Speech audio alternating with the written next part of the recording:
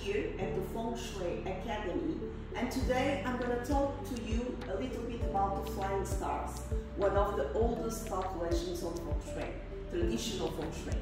Flying stars are like qualities of energy in the environment that surrounds us. So how do we calculate the flying stars for 2023?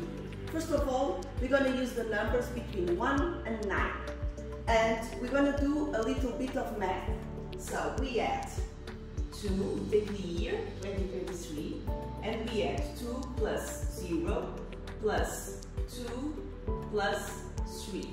And of course, this equals 7. And now we're going to subtract 7 from 11. This is a constant. You always use 11.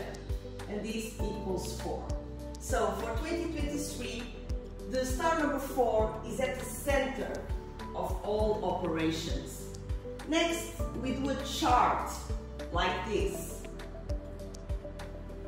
Because we want, we want to know in which direction all stars will be. They, they, they fly every year. This is why we call them flying stars. So at the center, we have star number four. And this is the movement that you use to fly the stars. Like this, five.